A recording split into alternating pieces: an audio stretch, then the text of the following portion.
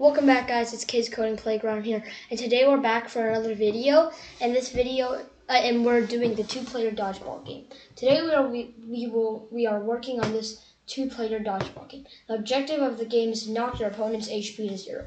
Players must avoid getting hit by the balls. Only two balls can be thrown at the same time. Two-player dodgeball game. We'll be learning these following concepts in Scratch. Variables, forever loops, broadcast message, touching other sprites, controlling sprite with keys. So I'm gonna demo the game. So I have my dad with me to play. Hello. And I will be, I will be the, um, I'm gonna turn down the volume a little bit. Yeah, so, so there's music, and I'm the blue dude, and then I use the right arrow to shoot, uh, the left arrow to shoot, and for the red dude, the red Pico, he uses um, D to shoot, so that's nice. So you can throw two balls at this given time at the same time.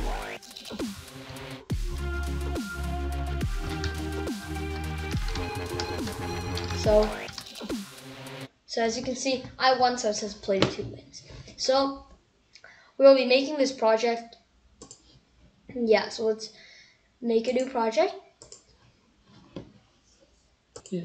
Before I start, please like, share, subscribe, and comment in the comment section below for what else content you want. So first, I'm going to take out the sprite. I'm going to the sprite library. I think it's called Pico. Yes, Pico. Pico walking because he's supposed to be walking up and down. So we have Pico walking. You can also duplicate this dude. But first, let's get the uh, beach ball. And we're only doing one and then we'll duplicate it afterwards. So let's just do the variables. So you gotta make a variable called player one HP and then player one ball counter. You also need player 2 HP.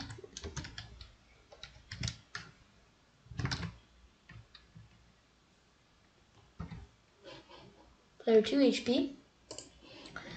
And also player 2 ball counter.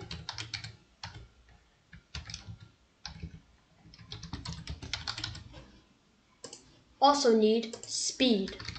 So speed is this is really important. So it's not for all sprites. If you click this, it's going to be wrong. If you click the OK button for all sprites, it's going to be wrong. You have to do for this sprite only.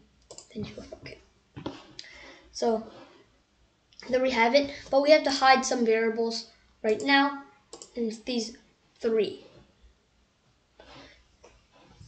So you can also um, change the backdrop. The backdrop is we can also we can change it to a basketball, a gym. I think it's called gym. No. Bas basketball one. So there we have it. And for the code, we need to get the sound first. I I did dubstep, so let's just search up dubstep. Yep, dubstep. And when the green flag is clicked, it will forever play sound dubstep until done. So until done. And you also have to work on Pico. And first you need the when the green flag is clicked. Um, set player one HP to 100. So I'll have 100 HP when you start. I'll point in direction 90 because it's facing right. Go to this position, but I'm going to make it go to more in the middle. So maybe here. Uh, maybe let's do negative 180 zero. And then um, set rotation style left right. Um, so we'll not, will not flip around. Will not flip over and it'll set speed to zero. Speed, speed.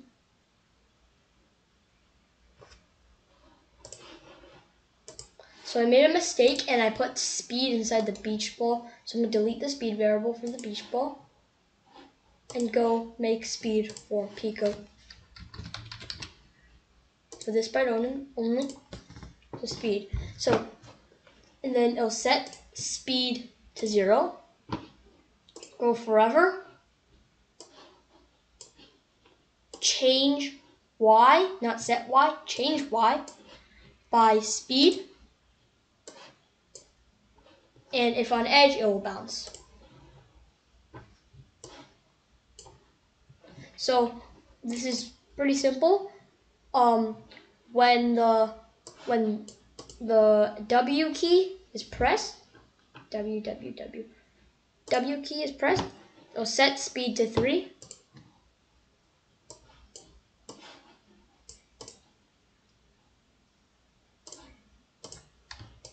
You just have to duplicate this. And it's still set speed to 3, but it's set minus negative 3. So it's S, negative 3. So as you can see, I'm just going to try it. It's W and D. So right now we haven't coded everything yet. As you can see, it's it's working correctly. It's going up and down once you click it once. So there. Okay, so so when the green flag is clicked, it'll go forever. Next costume. Like it'll forever change costume. It'll wait 0.1 second for until changing back to the same co next costume. So 0.1 second. So we do not want to do it inside here because it will mess up the code and it has a wait, so it will mess up the code very, in, it will injure the code basically. So let's just keep on going. So when the green flag is clicked, it'll go forever. If then touching tennis ball, we do not have the tennis ball yet, but we can get it from the sprite library right now. That's the tennis ball that the other dude throws. So if then touching tennis ball, tennis ball, then it will broadcast player one got hit.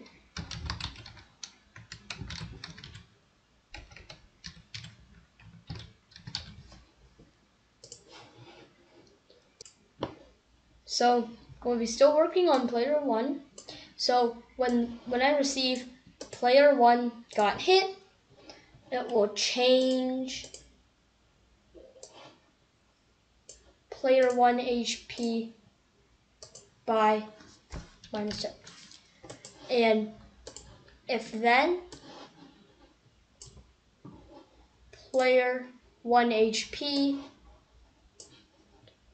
equals 0, that means it'll broadcast player 2 win because player 2 killed player 1. So I'm to just do this really quickly. Broadcast player 2 win. And then when I receive player one got hit, it will say, ouch, for one second.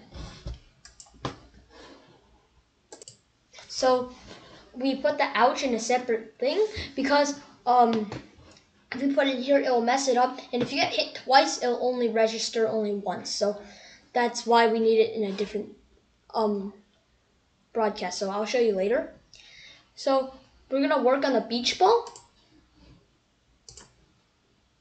So when the green flag is clicked, um, it will set player one ball counter to zero. And it'll hide. When when I receive no no when when the key D is clicked because pressed D will press it if then the player one ball counter is less than 2. Player 1 ball counter. Then I'll create clone of myself. It's because we don't want to spam and like keep on clicking the D key and there's like so much balls everywhere. So yeah. And then another thing for the code for the beach ball is when I start as a clone, change player one ball counter by one. It'll go to player. Go to player. Go to the Pico. So I'm gonna change him to player one. I'm gonna change his name to player one. So go to player one. It will show and point towards player two because you're basically hitting player two. So point towards player two. We do not have player two yet, but we can. So I will duplicate this, duplicate, and he's player two. They, they will not have the same code, but I will do that later. Let's go back to the beach ball and point towards player two. Repeat until you need an OR statement, the OR operator function, touching player two, so that's when it's touching the player two, or touching edge. Let's see, did it go here? It's fine, I will find that. Beach ball. So, not there, but duplicate, and then or touching player or touching the edge. I'll move six steps.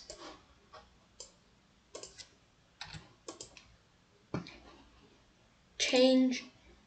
So after this, not inside, it will change player one ball counter by minus one. And delete this clone.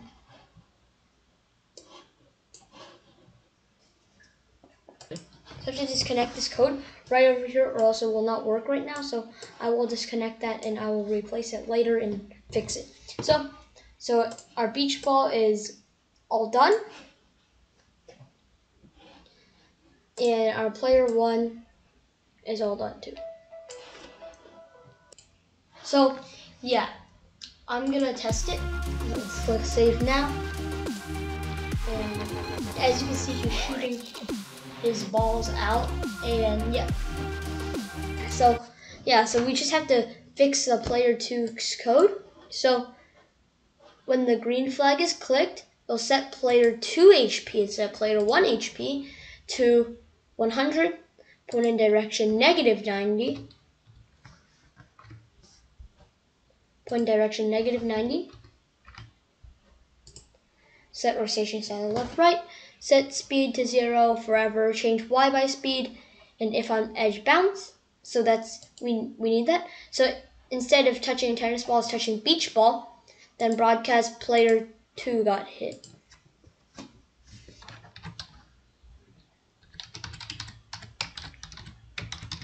Player two got hit. And instead of W, it's up arrow. Instead of S, it's down arrow. And then when I receive player 2 got it, change player 2 HP by negative minus 10. And then if player player 2 HP equals 0, then broadcast player 1 win. Complete opposite.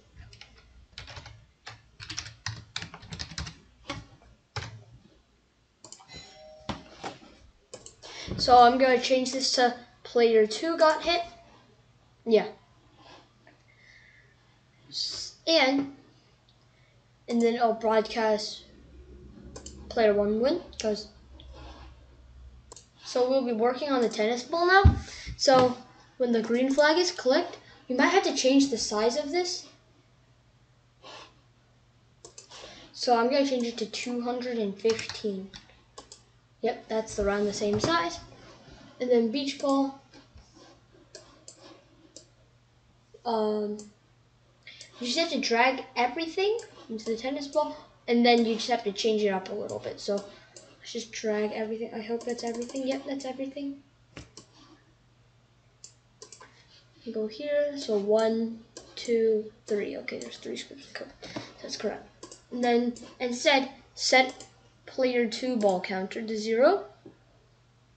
And then instead of D, it's left arrow. And then and then I'll change this to player two ball counter. And so I just did this, player two ball counter. I just change it. You just have to right click the variable and then you can change it. And then over two and create clone myself. That's correct. And then when I start as a clone, change player two ball counter by one. Go to player two. Show, point towards player one. Repeat until touching player one or touching edge, move six steps, and then change this to player two ball counter. So I might change the color of player two. So costumes, I'm gonna change all of his co um, costumes to blue. Maybe this blue.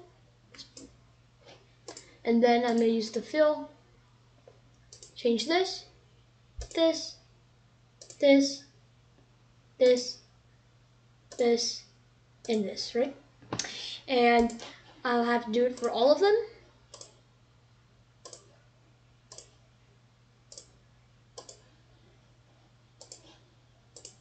So I'm almost done. Oopsies.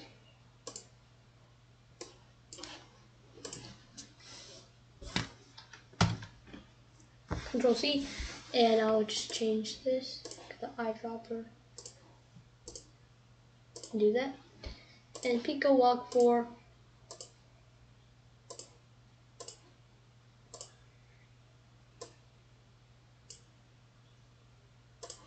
Yep, there. And yep, we have it. And yeah, we also have to do the you win sprite. So I have it inside my backdrop right here. So I have the player two wins. So the win sprite. So I have all the costumes here. So the first costume is player one wins, second costume is player two wins. So yeah. So when the green flag is clicked, it will hide. When I receive player one win, it will show. And switch costume to costume one, which is the player one win, this one is player two wins, second costume, and stop all. You just have to duplicate this and change this a little bit. Player two win instead. Will show and switch costume to costume two and also stop all. So there you have it. So I'm just gonna demonstrate it to you guys. So let's play. So I'm the blue, my father's the red, and so I'm gonna shoot twice.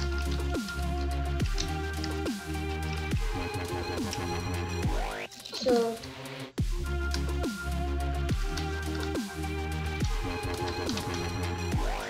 So I'm just gonna win here. And as you can see, it is player two wins. So that that's it for this video. Please like, share, subscribe, and comment in the comment section below. See you guys.